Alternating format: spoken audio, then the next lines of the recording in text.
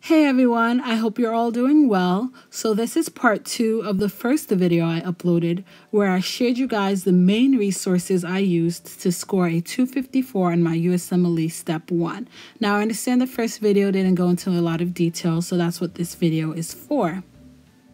Now, this is a resource that I highly recommend. Robbins Basic Pathology is great for mastering pathology. I read it alongside my second year pathology courses, and I found it very useful.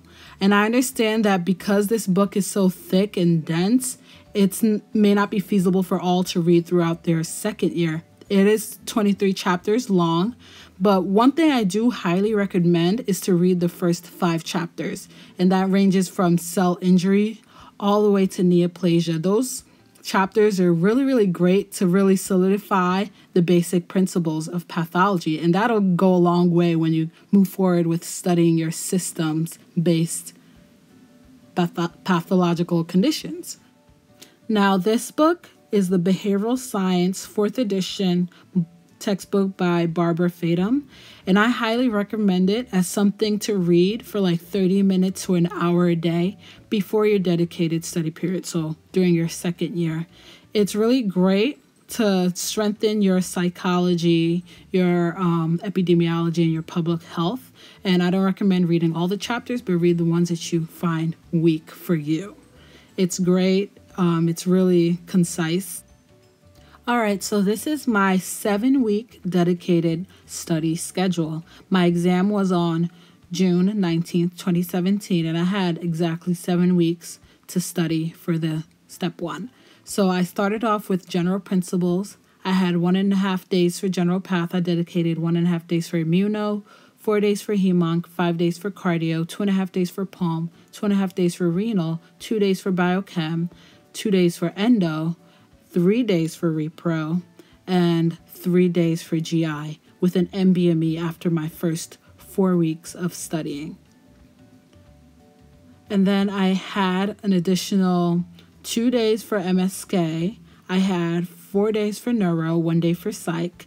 And then for the last week, I really wanted to focus on reviewing all that I had studied in the past six weeks because I don't know about you guys, but I find it hard to remember things I studied like six weeks ago.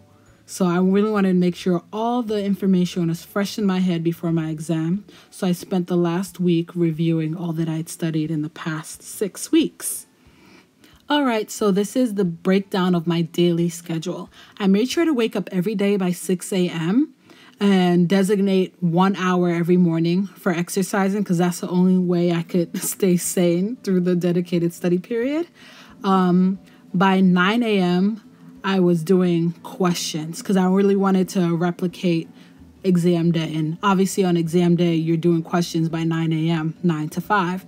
So I did two sets of questions, took two hours to review those 80 questions, had one hour of lunch. And I also really wanted to emphasize how important it is to study micro, pharm and biochem frequently. I wanted to make sure to do that every day. So I designated one hour a day for micro and pharm, listening to the sketchy videos and reading the correspondence sections in first aid, as well as one hour for biochem, reading my annotated biochemistry section in first aid. I'd have a total of three plus two hours for my subject of the day, whatever subject I designated in my calendar. And then by 10 p.m., I was showering, relaxing, in total, it was 11 hours spent studying, seven and a half hours spent sleeping. Now, guys, I guess this can be an opportunity for you all to learn from a mistake I made. Now, one idea I had early on was to write down the explanations for every question that I did in a UWorld question set. And honestly, it wasn't really feasible for me because I didn't have time at the end to review it.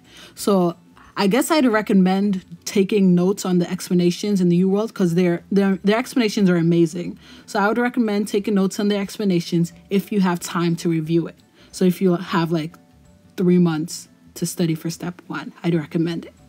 Now, guys, one last thing that comes highly recommended by me is Goljan Audio Lectures. Now, this is a guy who had a step one and step two review series in the early 2000s, and I believe someone who was in his lectures recorded all of them.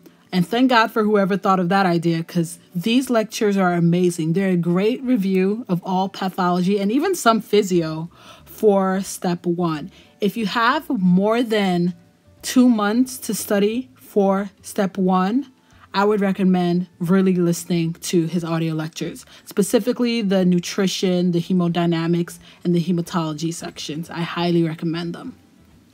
All right, guys, so that's all for this video. I really do hope you found something helpful. Um, you can comment more recommendations down below. Like this video if you found it helpful and subscribe for more. Have a great day.